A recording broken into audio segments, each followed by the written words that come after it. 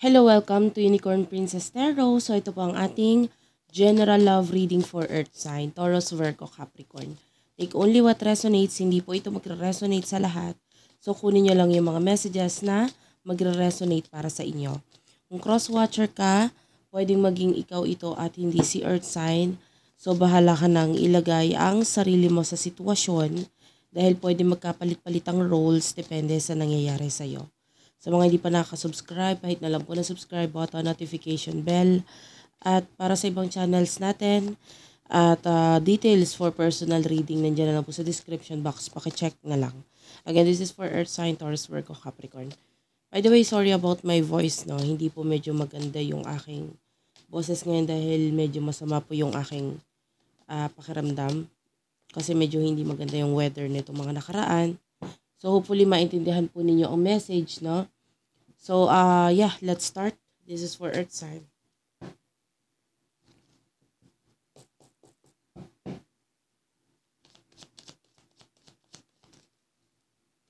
Okay, you do have here the full. Okay? So clarify natin what's with the full. The full is clarified by the eight of uh, swords. Okay. And I'll try my best na maipakita yung card sa inyo. What's with the Eight of Swords? The Three of Wands. Okay. Bottom of the deck is the Queen of Swords. Hmm. Okay. So, sa nakikita natin dito, um, I'm feeling like meron kang gustong gawing journey ngayon or new beginning sa buhay mo ngayon. Pero hindi ka makasimula simula regarding dyan kasi you are stuck in a situation. Kung hindi man ikaw stuck, pwedeng wala kang kakayahan or abilidad na magawa itong something na gusto mong simulan. Maybe it has something to do with your career. Maybe it has something to do with your love life. Well, hindi natin masabi. But you are stuck in this situation pero gusto mong mag-pursue, mag-pursue or ipursige kung ano man itong bago na ito sa'yo. And then we do have here the three of so uh, three of wands. Talagang iniisip mong mabuti uh, kung paano makaka uh, magagawa ng paraan magawa or mapunta dito sa tao or sa sitwasyon na ito na gusto mong magawa or mapuntahan pero wala kang lakas ng loob or wala kang um, kakayanan. Okay? And for some of you, meron kang mga bagay na kailangan isaalang-alang with the Queen of Swords. Meron kang kailangan tanggalin or alisan na sitwasyon para maka, maipush mo ito. Pero sa ngayon, hindi natin nakikitang possible yon dahil nga ikaw ay uh, stuck sa sitwasyon. Okay? So that could be new job, new career, uh, business, yan. And yung iba sa inyo, that could mean love life na rin. Na pwedeng sa love yon na i-apply. So, kunin naman natin yung energy ng person na kakonect mo when it comes to love.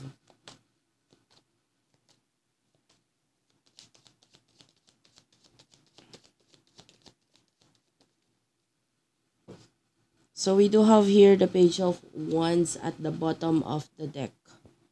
Okay, your person is the hermit, two of pentacles, and the page of uh, swords. Ayan. Taurus, Virgo, Capricorn, Gemini, Libra, Aquarius. Ayan, major arcana, the hermit, which is a Virgo energy. Okay, Aries, Leo, Sagittarius is also here. Alam mo itong person na ito, gustong gusto niya makipag-communicate sa'yo, pero tinatry niya or mas pinipili niyang wag. Mas pinipili niyang wag. Kaya niya ginagawa yun. Either may mga options ang isa sa inyo. Okay, pwede sa side mo or sa side niya. Well, I cannot tell. Pero there's this uh, options na kaya nagiging dahilan para dito sa person na ito na wag mag-initiate ng communication sa inyong dalawa. Okay? At saka medyo ma-distant or ma maiwas itong person na ito, lalo na with the hermit and the page of swords, maiwas talaga siyang tao.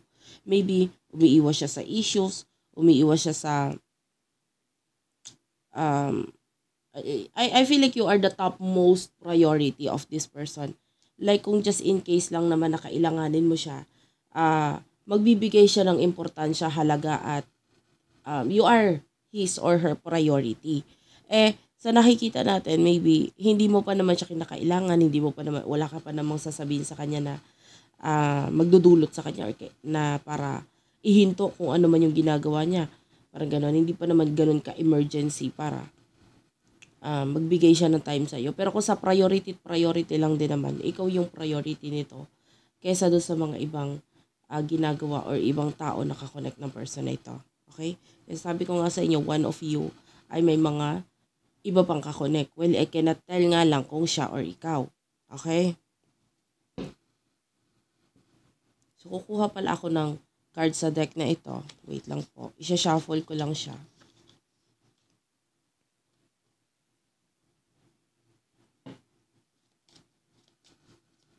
For Earth sign, please. Taurus, Virgo, Capricorn. What do we have here for our Earth sign? Okay. Kung hindi ko nakukuha yung energy mo, okay lang yan. May mga next pa naman tayo. Ano, next readings. You do have here the coffee cup and the snake. So, yeah, this is the main problem. Yung snake dito is might be the, the person, okay, na either one of you is nagiging kakonect etong si the snake, okay, which is a third party situation or the other woman, other man. So, may competition tayo dyan. Dahil doon sa competition, napapatagal ngayon ito with the coffee cup, itong connection na ito.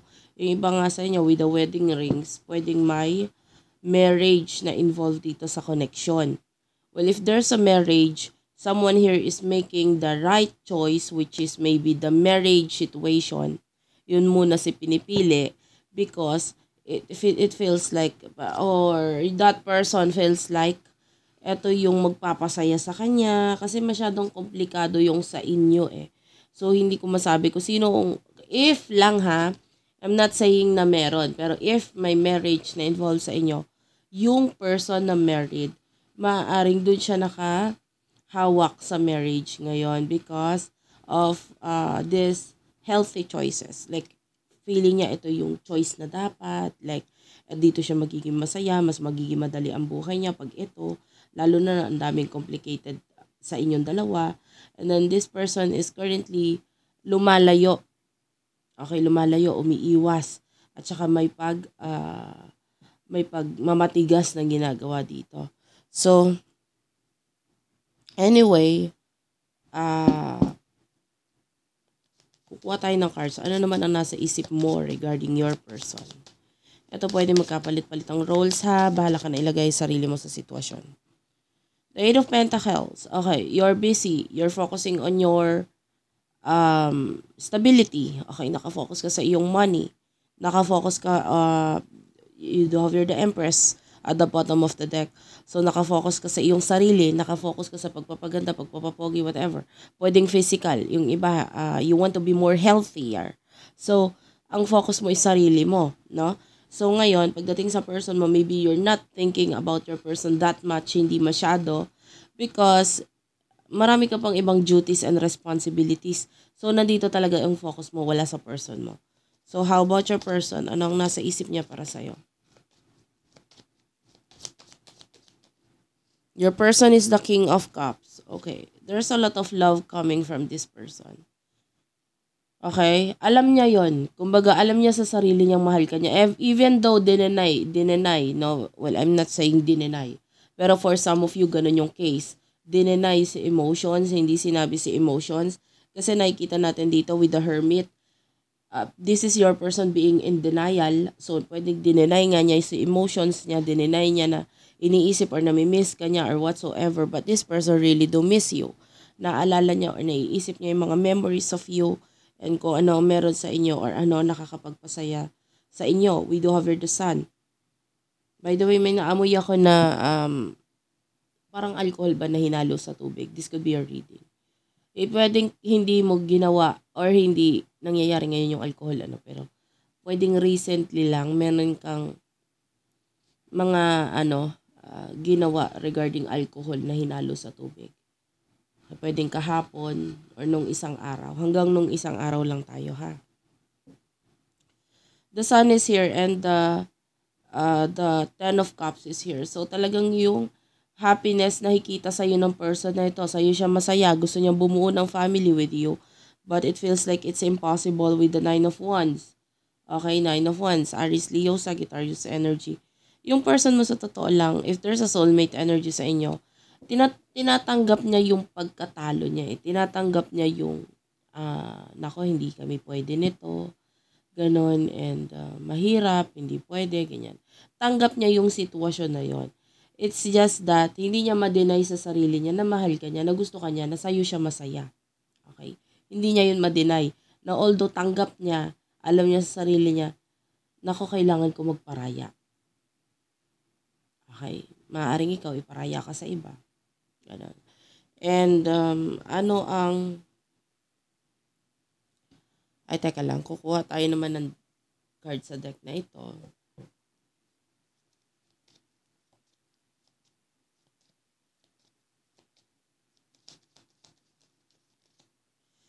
Yeah, we do over the date. Clarify the date, please.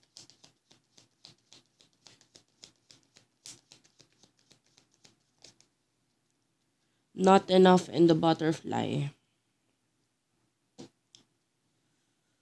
We do have the lightning. So, for some of you, um, yeah, nakukuha natin kasi talagang yung mga bago ang pinagfo-focusan mo ngayon, eh, mga bagong nangyayari sa buhay mo. And sabi ko sa'yo, may mga gusto ka pang gawing bago. And that could signify this date. This is like new uh, new things sa buhay mo. Like, you wanna get out there, get back out there, you know. Pwede nga iba sa inyo, lalo na kung sa pagpapaayos ng sarili, you want more, more, more, more kasi nakukulangan ka pa sa mga mga ginagawa mo sa sarili, sarili mo. Pagpapaganda, pagpapaayos. And uh, pagdating sa person mo, um, there's a lot of jealousy here. Nagsaselo siya, hindi siya okay. Like, nagsaselo siya, na oo, tinatanggap niya yung sa inyo, pero maybe you are dealing with another person, pwedeng may mga options ka pa, doon siya nagsiselos kasi sana ako yon Sana ako yung pwedeng mag-make ng, uh, I can hear make love. So yon pati, pati uh, sexual uh, connection with you and other person, ikinaseselos niya yon Which is, kahit wala naman siyang ideas regarding doon, medyo nag-advance thinking lang si person mo, ay, sa iba siya nakakakuha ng uh, ng ganito, ganyan, iba yung nakakapagpaligaya sa kanya. So, dun sa part na yun, nasasaktan siya. And also, uh, yeah, with the butterfly, this person really wants to be free. Okay? Free. Gusto niya maging confident, pero wala siyang enough. Uh, by the way, Sorry na, ano talaga ako doon sa amoy ng alcohol. This could be a reading. So, uh, yeah. Gusto niya ng another phase or another chapter sa buhay niya na sana tayo naman yung bida. Sana tayo naman yung masaya. Ganun. And what is your emotions towards your person? Your emotion is the Seven of Pentacles. Can you see yourself here? Like you are, yung iba sa inyo pwedeng, you're not focusing. I, I do feel like for some of you, this is an admirer. Pwedeng admirer mo itong person na ito kasi wala talaga sa kanya yung focus mo eh. Your focus is your money, your growth. Ayan, may mga bagay kang hinihintay na may kinalaman sa pera. So, nandito yung focus mo. Okay, gusto mo madagdagan si finances, nandito si focus mo. You want to uh, somehow binibigyan mo talaga ng time at effort ito. This is you with the Seven of Pentacles. Pagdating sa connection nito, masyadong, masyado ka ng mature. Like, ayaw mo na ng pabebe na energy. Sabi, sa energy mo is like, nako, I just want to be happy. Alam mo yon yung kung magpapabebe ka lang nang gusto mo ako ang gumawa ng movement sa ating dalawa, that's not possible. Kasi for what I can see here, um, marami ka pang pinagkakabalahan, marami ka pinagkakabisihan, and pandagdag lang siya eh. May iba nga sa inyo, pa, possible nga na admirer mo to, or kung hindi mo siya admirer, pwede nga tagalan ka na sa connection ninyo, ano pang hihintayin mo, parang wala naman akong hinihintay, so better mag-focus na lang ako sa sarili ko at sa finances ko. So, that's your energy. So, how about your person? Anong emotions niya for you? Okay, so the Six of Swords is here. Gemini, Libra, Aquarius energy. Yung person mo, malungkot siya pero um, alam mo yung acceptance. I told you, yung person mo is ina-accept niya kung ano yung meron sa inyo, ano yung wala sa inyo. So, ito yung nangyayari sa person mo. Yung person is currently moving on from the emotions na nararamdaman niya sa'yo, which is na kanina pa natin nakikita. This person loves you. Mahal ka niya. Mahal, mahal ka nitong person nito. Pero, at yeah, for some of you, this could be an ex, this could be someone from the past. Pero tinatanggap niya kung ano yung mga nangyayari sa inyo ngayon. Okay? And, uh, yeah this person is I feel like honest siya pagdating sa this is an honest person. Totoo siyang tao. Okay, kaya lang pwedeng sa iba, nasasabi niya kung anong totoo regarding sa iyo, regarding sa inyo, pero sa iyo hindi niya may open 'yon. And yeah, more cards. Yeah, this person is trying to cut you off with the sword and rose. Tinatry kanyang i-cut off, tinatry kanyang iwasan, tinatry niyang wag makipag-communicate and wag maklarify kung ano man yung mga nasa isip mo and you on the other hand is the self-indulgence. You're focusing on yourself. You're focusing on your work. Ayan. Ang nakikita natin. And with the girl talk, yeah, I feel like may communication naman na nangyayari sa inyo pwedeng nito lang, maybe within this month, kung kailan mo ito pinapanood, may, may ano eh, may conversation dito. Yung iba kasi pwedeng nanonood ka and then matagal nang walang communication sa inyo nitong person. This is not your reading. Kasi nakakita tayo ng communication, hindi nga lang ganun kaganda. Okay, kaya nga ma-realize mo na may pag-iwas na nangyayari. Wait lang guys. Okay, sorry about that. So let's move on to your future. What will happen to you in the near future? Nine of Swords is here. The Queen of Swords. The Three of Swords. We also do have here the Six of Cups.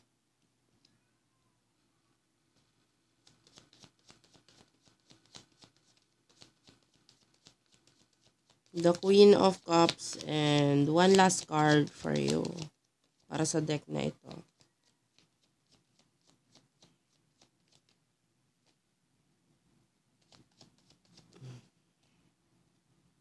The Knight of Pentacles. Oh. We do have here the Chariot. At the bottom of the deck.